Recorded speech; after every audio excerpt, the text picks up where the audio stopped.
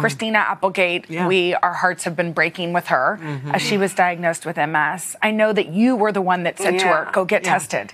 I, you know, I saw it so much. It was just lucky. I love Christina so much. We had our children together. We've worked together. Um, and she saw me in the darkest days after I had my child. It was very downhill from Yeah. there, and I was kind of hiding it and and having some behaviors that weren't ideal. But it was I was really struggling, and she saw that.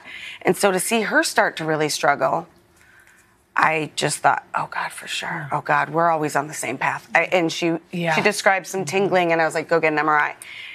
And she thought, no way. But she did, and she had MS.